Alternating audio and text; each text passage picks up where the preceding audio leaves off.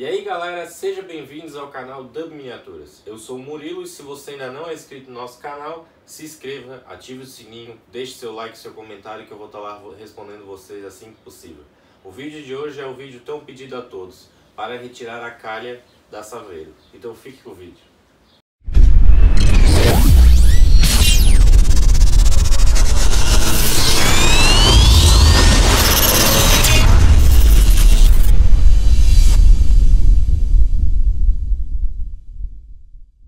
E aí galera, no vídeo de hoje vamos retirar a calha de chuva da Saveiro. Então fica com o vídeo aí.